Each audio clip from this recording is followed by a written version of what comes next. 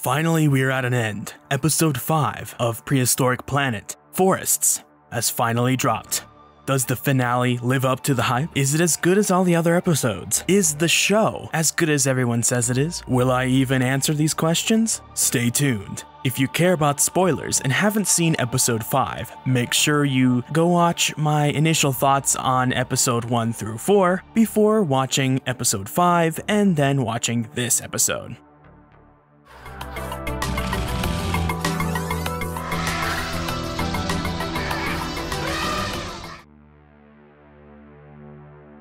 Forests starts out with a small pod of Austroposeidon.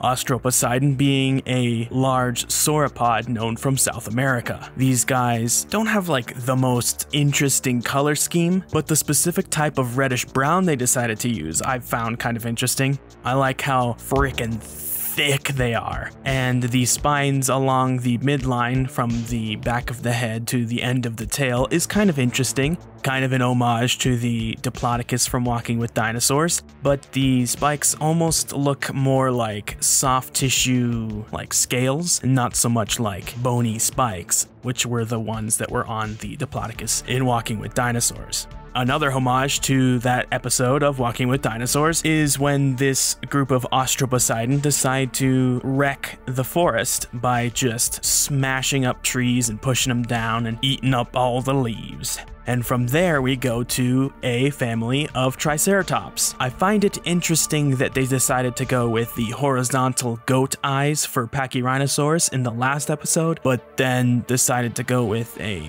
rounded bird like eye for Triceratops in this episode. Why the inconsistency? I don't know but the Pachyrhinosaurs are centrosaurs, while Triceratops is a chasmosaur. So you could kind of be like, well, they're two different groups of the same type of dinosaur, so the eyes could be different, plus eye shape is sort of indicative of habitat preference and uh, physiology. Why do one thing on one dinosaur and something different on the other dinosaur when they're two closely related dinosaurs and then not explain that detail at all? Some might not even notice it there, but but explaining the update or the speculation of eye shape would have been interesting, is all I'm saying. Another interesting inclusion on all of the Triceratops is a difference in the horn shape. Some have their horns going up and then down, some have them bending up and backwards, some having them go basically forward, which is what is seen on basically every single Triceratops skull. Each one is different from the others. So it's really cool to see that, but it, you know, an explanation would have been educational. The Triceratops herd goes to a cave looking for clay to eat to help them digest or protect their digestive tracts uh, from poisonous plants that they eat, which is based off of a large number of different animals alive today, mostly mammals. As you've probably seen from one of the clips that was released from this segment from this episode, one of the babies gets lost in the cave while the group is looking for their clay lick. Eventually, the baby makes it and meets up with the group, and it stands there in the half in the shadows and half in the light. And it would have been a perfect scene to have a jump scare with a predator that followed and caught the baby and killed it and offer us some action. But that doesn't happen, unfortunately. From the Triceratops segment, we then go to Carnotaurus. Carnotaurus being in South America, which is not mentioned in this segment at all. The Austroposeidons are also in South America, and I'm not sure, I'm pretty sure they don't mention that. The Carnotaurus segment is the highlight of this episode, I think, with the Carnotaurus doing a mating dance reminiscent of some birds of paradise and also some spiny scaled lizards, where they have this blue patch on their arms and underbelly and chest. Here, the Carnotaurus has blue patches on the underside of their arms, and they use their arms as a display. And this is the speculation in the episode that they decide to explain in the Prehistoric Planet Uncovered segment, which is good because this is one of the standout segments in this whole episode. Unfortunately, the poor guy did not get to smash. I honestly think they could have pushed the speculative nature of the whole display even further with the inclusion of skin flaps on the arms or some sort of feathers or quills or something to make the arms bigger and more obvious. Not necessarily in color, but physically larger, as has been shown in a lot of speculative artwork like the stuff in the All Yesterdays, which this whole documentary series is clearly derived from. Another thing to note here is that the osteoderms or the large round scales in the skin that are arranged in organized rows is inaccurate. And unfortunately, the people who made it didn't have a chance to change it with the update of Carnotaurus after the publication of the paper on the skin impressions of Carnotaurus. So, though it may be technically wrong, it's not wrong enough to be a mark against this segment or this episode. The color scheme of the Carnotaurus is reminiscent of the color scheme of the Carnotaurus in Jurassic World Fallen Kingdom, with the oranges and reds and stripes, which I think is really cool because it offers up a cool juxtaposition between the two designs. Obviously, this one being more true to life. Another piece of speculation that they could have gone further with, I think, is the horns. The horns are pretty much similar in shape and size to the bones. Now, they could have made those things a lot bigger. Now, I'm not saying to go all the way as in this piece by RJ Palmer, because, you know, that's quite out there. Still not impossible, but, you know, something more interesting. And all of the theropods in the entire show that have a keratin crest don't have the keratin colored, which I find really weird because the keratin crests and hornlets and all that sort of stuff has been hypothesized to act as a display structure for a long time, and none of the theropod dinosaurs throughout this show that have these keratin crests use them for display. In fact, in the freshwater episode with the Tyrannosaurus, when he does the mating display, it's with his throat sac, not his horns. Now, I just think you could have gone further with the idea that the keratin horns and spikes and crests are for display, especially here with the flesh eating bull having the large downturned horns. From the Carnotaurus segment, we then go to the fall autumn segment of Eastern Asia with the Qianzhousaurus and Corythoraptor scenes.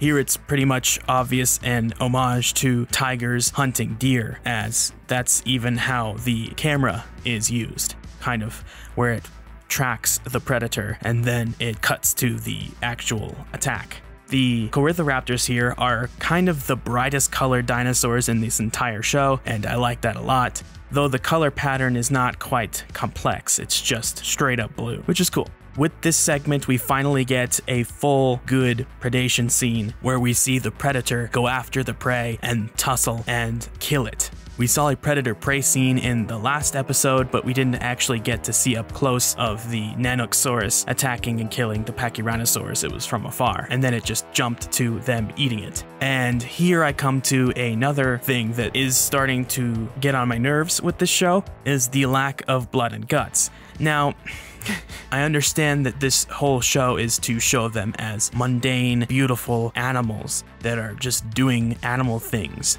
But the natural world that, that we actually live in is full of horrific stuff just the absolute goriest, nastiest things. And most of that stuff happens with mammals. Mammals are like the worst, just the absolute worst animals. Because we see that the Qianzhousaurus is effective in killing the Corythoraptor with giant teeth that should have gone straight through and snapped off the neck and head, but we don't see that, or any drop of blood whatsoever, despite it killing it with its teeth that should have sliced right through it the lack of blood and guts in some scenes. I'm not saying to go gratuitously about it, but the lack of it almost seems more unnatural than the inclusion of it, because trying to dispel the myths that dinosaurs were bloodthirsty monsters is good, and they're doing that here, but they did, just like any animal, they did have the propensity for violence, and the predators had to kill to eat, and plenty of herbivores are some of the nastiest animals alive right now. So the lack of that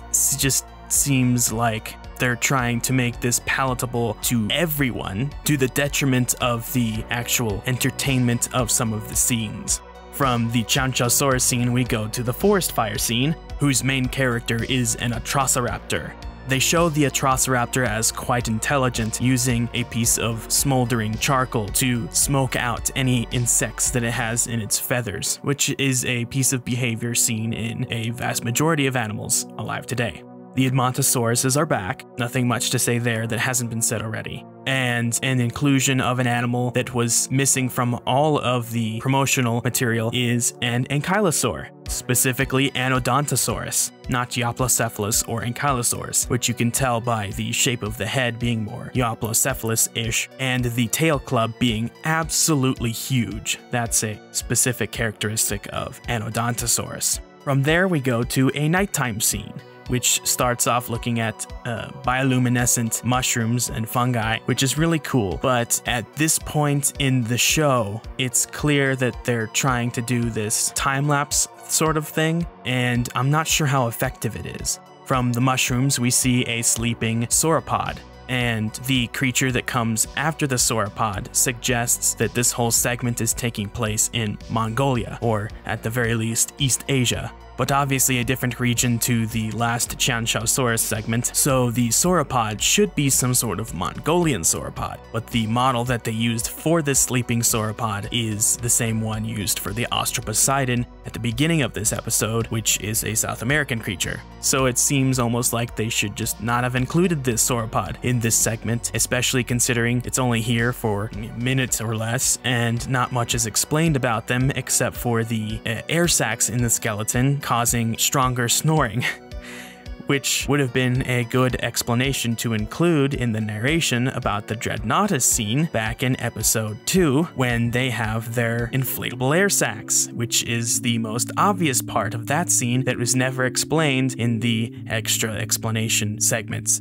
The main characters of this scene are the Therizinosaurus, my favorite dinosaur, finally getting its due. And on top of that, we get to see babies young Therizinosaurus, and th I think they're probably the cutest babies in this entire show. But that's just my bias. They're cute little munchkins, and I want to pick them up and squeeze them because they're so thick and chunky little chickens with little death hands and ginormous bulbous heads. And the segment has them climbing, which is really cool. You never, you're never gonna see a Therizinosaurus climbing like that and because they're tiny, they can climb, and they have the claws to help them climb. And they climb up this tree to eat bees? No, actually, they climb up to eat the honey from the bees, and they're having a hard time of it. I'm glad they didn't have the bees kill the baby Therizinosaurs, because that would have made me cry. The end of this segment has an adult Therizinosaurus come in and knock the beehive down from the trees, and then it eats the honeycomb and leaves. This is the best Therizinosaurus ever put to screen, and is a nice juxtaposition to Jurassic World Dominion coming out soon, in being a much, much, much better, more realistic and accurate interpretation of a Therizinosaurus, despite the fact that there is no neck or head or tail of Therizinosaurus known the adult Therizinosaurus just kind of gobbles down a whole chunk of the beehive, so it definitely swallowed some bees.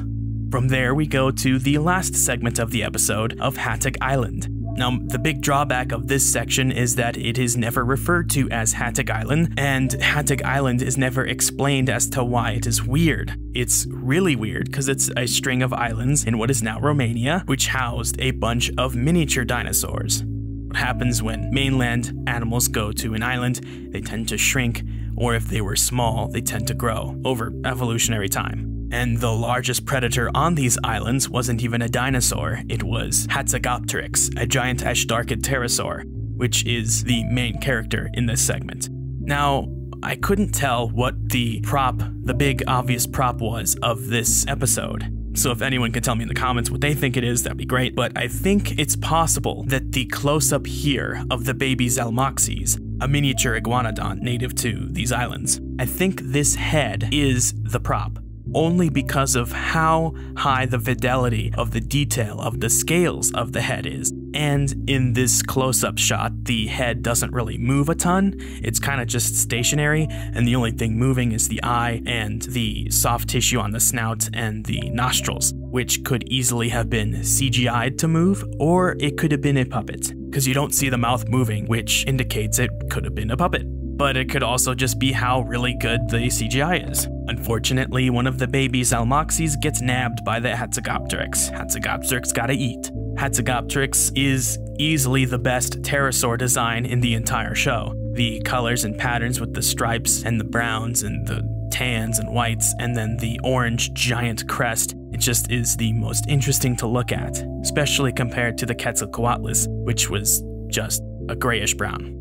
And the way that the Hatzegopteryx is portrayed here is a heftier, bigger creature, which, you know, it wasn't really bigger, but it was heavier. It was thicker, had a bigger head and a shorter neck. Then we are shown Telmatosaurus, a miniature hadrosaur, and the colors and patterns here are also reminiscent of Gabriel Ugueto's work and is also similar to the Edmontosaurus and Olorotitan color schemes, so that kind of fits. The sauropods are never mentioned, but I assume they are Magyarosaurus or something similar, because they're definitely not the Brachiosaur Europasaurus. I like how they're representing the ecosystem here almost better than they've shown throughout the entire show, of all these different animals coming to the shore to lick salt off of the plants and rocks, and that's when they get to spread their legs and their wings, and the Hatzegopteryx stretches and then flies off majestically into the sunset, and that's how it ends.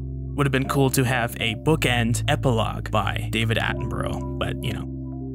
So, overall, I think the series gets a 9 out of 10 from me. The weakest aspect of the show is definitely the writing or the pacing of the whole thing, and that it's the writing is weak insofar as it seems like the whole show is prioritizing visual entertainment over education because barely anything is explained.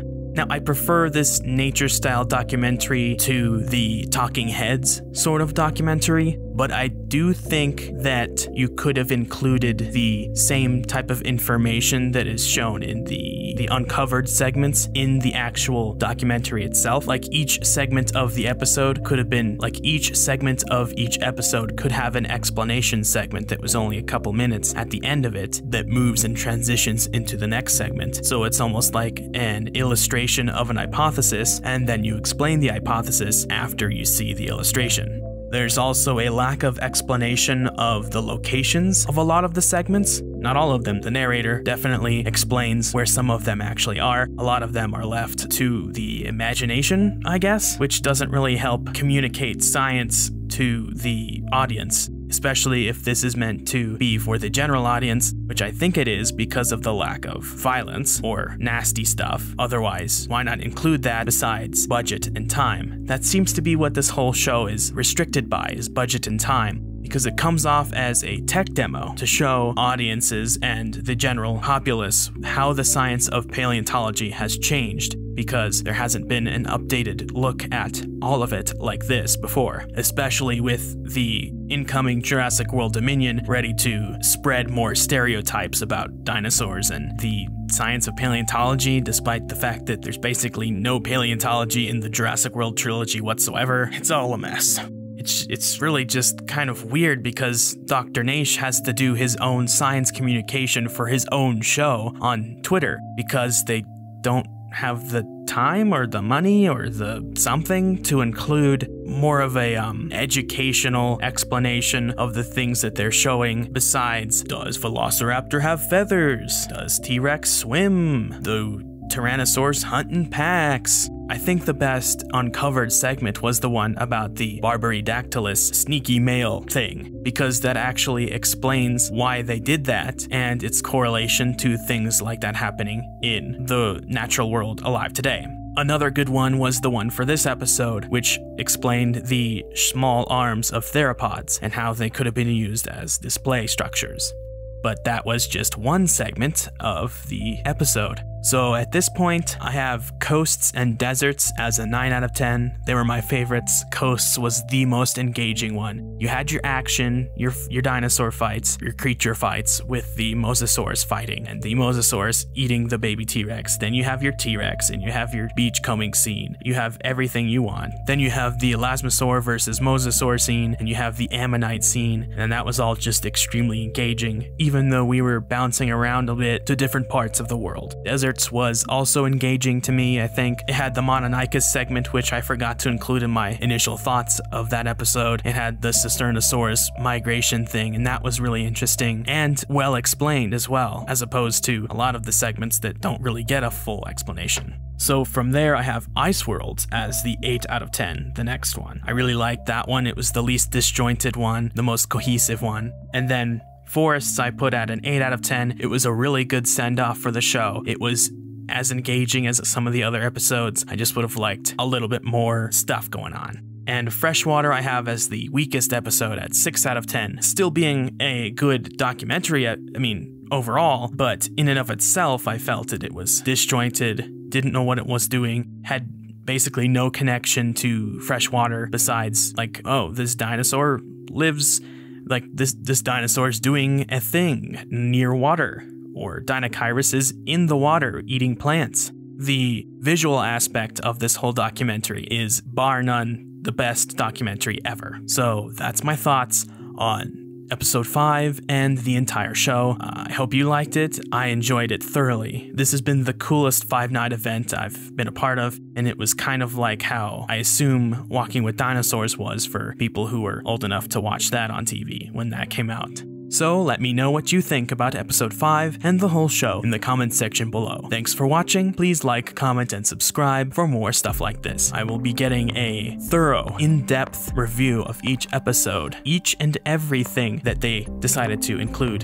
in each and every episode, better than they did, and I will also be analyzing the cinematography, the writing, the directing, so on and so forth, so stay tuned for that. Those are going to be very long videos and are going to take a lot of time to edit, but I will try to get them out as soon as possible. For more interesting stories about nature, the history of life, or what goes bump in the night, subscribe, hit the bell icon for updates, like this video, and drop a comment in the comment section below. Thanks for watching. Special thanks to my elephant tier patrons Ray, Isaiah Garza, Dinosaur, Christoph Hubinger, Biotaverse, and Arda Bayer. And another thanks to my Tyrannosaurus tier patrons, The Dogman, Iron Bladesman, Danny Van Heck, and Dana Manchester.